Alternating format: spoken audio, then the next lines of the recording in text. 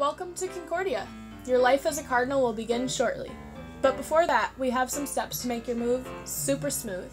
Please listen to this informational video about what to expect on your move-in day. If you have any questions, please don't hesitate to contact the Residence Life staff prior to your arrival on campus. Upon arriving on campus, you will be greeted by a friendly campus safety officer. They will direct you on where to park your vehicle before heading to Central Campus. Corky is pumped to welcome you to campus for your move-in day, but clearly is not an early bird. Once you have parked, proceed by foot to the Central Campus check-in table in front of the chapel. There you will receive a checklist to begin your day.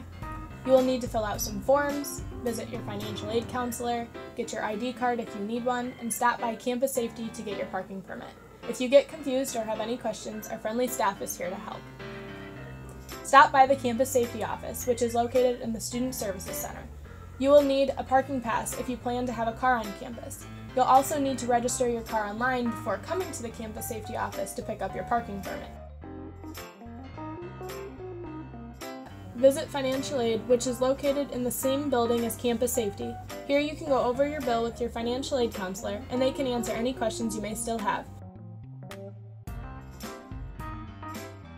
Next, if you will be living on campus this year, head back to your vehicle and move it to either the east or west side of campus.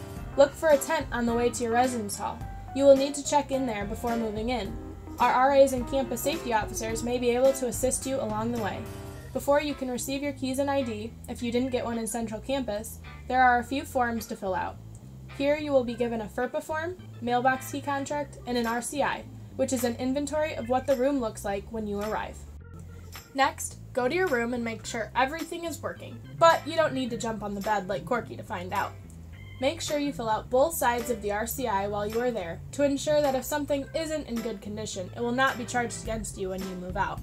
Oh, and try not to break furniture on your first day.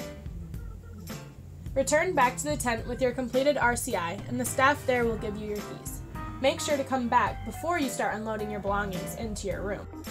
This is the best chance to move furniture and decide on a layout with your roommate. We encourage you to set up your room how you want it for the school year before you start unloading.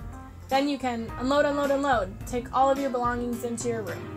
This step may become a little messy, but don't worry, it will be okay as long as it gets organized before school starts. Finally, settle into your room and make sure it is ready for the school year. As you can see, there are different ways to set up your room. If you have questions, talk to an RA and they can assist you in how to bunk, loft, or otherwise assemble your room.